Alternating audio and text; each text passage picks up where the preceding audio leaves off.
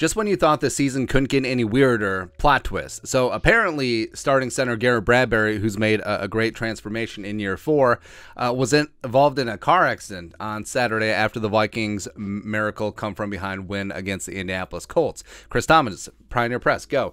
Viking center Garrett Bradbury said he doesn't know yet if he will play Saturday versus Giants. Has missed two games due to lower back injury and had minor tweak to it in car accident. Uh, by the way, he said the guy uh, who hit him didn't know he plays for the Vikings. All right, so uh, the, the, guy who, who hit Bradbury's car just got out. and Is like, hey, what's this undersized? I hope that undersized dude is okay. or, or, or, something like that. We, we, can joke about it because everyone seems to be fine.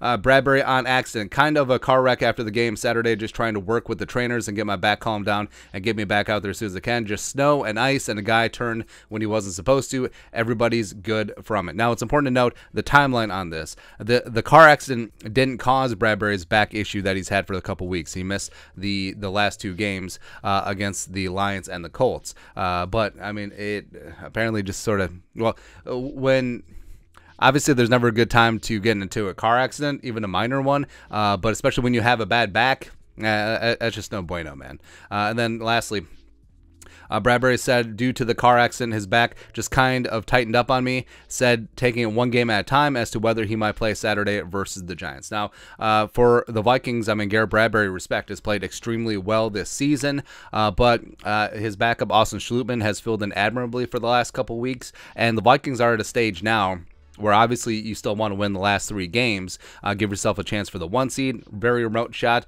uh, but also keep yourself in position to stay ahead of the Niners and maintain the two seed. Uh, but also, it does make sense uh, with a bunch of guys that do have lingering issues, looking at Za'Darius Smith, looking at maybe Harrison Smith, uh, especially looking at Garrett Bradbury, where, I mean, Obviously, if it was a Super Bowl on Saturday, maybe Bradbury uh, would uh, get that back loosened up, maybe get a Dr. Feel Good, and would be good to go. But since it's the Giants, maybe you rest him.